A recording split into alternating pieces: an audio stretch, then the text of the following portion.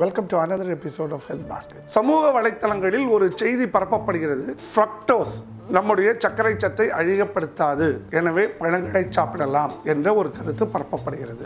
எந்த பழத்தை எடுத்துக்கொண்டால் அந்த பழத்தில் ஃப்ரக்டோஸ் என்று சொல்லப்படுகின்ற பழங்களிலிருந்து பெறப்படுகின்ற சர்க்கரை சத்துடன் குளுக்கோஸ் என்று சொல்லப்படுகின்ற சர்க்கரை சத்தும் சுக்ரோஸ் என்ற சர்க்கரை சத்தும் சேர்ந்தே தான் இருக்கும். வாழைப்பழத்தை எடுத்துக்கொண்டால் ஒரு பதினைந்து முதல் இருபது சதவீதம் வரை குளுக்கோஸும் இருபது சதவீதம் வரை ஃப்ரக்டோஸும் எஞ்சி இருக்கின்ற அறுபதிலிருந்து எழுபது சதவீதம் வரை சுக்ரோஸுமாக இருக்கும். இது வந்து நான் அதில் இருக்கிற சர்க்கரை சத்தை மட்டும் பேசுகின்றேன் இது தவிர நார்ச்சத்து இருக்கும் பிற செகண்டரி மெட்டபாலைட்ஸ் இருக்கும். நாம் சொல்வது சர்க்கரை சத்தை மட்டும் பார்க்கும் அப்படி என்றால் பழங்களையும் புரக்டோஸையும் நேரடியாக நாம் தொடர்புபடுத்தி பார்ப்பது என்பது சரியானதாக இருக்காது. தமிழகத்தில் மிகச்சிறந்த கனிகளாக போற்றப்படுபவை மா பலா வாழை. ஆனால் இன்றைக்கு மருத்துவர்கள் வந்து இது மூன்றையும் தவிர்க்க சொல்கிறார்கள். இது சரியா? எப்படி நாங்கள் இதை விடுவது என்று மக்களிடையே ஒரு கேள்விக்குறி இருந்து கொண்டிருக்கிறது. எல்லா வாழையும் ஒன்று போலே இருப்பதில்லை. பல்வேறு வாழைப்பழங்களில் வகை நமக்கு இருக்கிறது இந்த வாழைப்பழங்களில் இருக்கின்ற கிளைசிமிக் இண்டெக்ஸ் என்று சொல்கின்றோமே சர்க்கரை சத்தை அதிகப்படுத்துகின்ற தன்மை ஒன்றோடு ஒன்று மாறுபட்டிருக்கின்றது. ஒரு சில வந்து இதற்கு சர்க்கரை சத்தை ஆய்வு என்பது பிரிக்ஸ் என்ற அளவிலே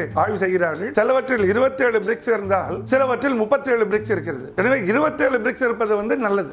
எனவே வாழைப்பழத்தில் வந்து ஒரு சிறிய வாழைப்பழத்தை மாலை நேரத்தில் நாம் சாப்பிடுவது தவறாக இருக்க முடியாது. ஒரு நாளுக்கு ஒரு பழமாக பப்பாளி கொய்யா மாதுளை இந்தியாவில் வளர்கின்ற ஆப்பிள் ஆரஞ்சு ஆகிய பழங்களை சாப்பிடலாம். சின்ன பவல் நிறையாக துண்டுகளை எடுத்து சாப்பிட்டு கட்டுப்படுத்திக் கொள்ள வேண்டும். மிக அதிக அளவில் சாப்பிடக்கூடாது. இது தவிர நமக்கு கிளா நாவல் இளந்தை அத்தி போன்ற பழங்களும் இருக்கின்றன என்பதை நாம் நினைவில் கொள்ள வேண்டும். பல்வேறு வகையான பழங்களையும் நாம் குறிப்பிட்ட அளவில் குறைந்த அளவில் சாப்பிடுகின்ற போது நம்முடைய சர்க்கரை சத்தை அதிகமாக ஏற்படுத்தாது. ஆனால் இதே பழங்களை வந்து இது நமக்கு ஒன்றும் செய்யாதுன்னு நினைக்கணும் அதிகமாக சாப்பிட்டோமானால் அது நீரிழிவு நோயாளிக்கு ஒரு பிரச்சனையை ஏற்படுத்தும். தொடர்ந்து பல மருத்துவ குறிப்புகளை சிறந்த மருத்துவர்களிடமிருந்து பெற ஹெல்த் பாஸ்கெட் யூடியூப் சேனலை சப்ஸ்கிரைப் செய்யுங்க.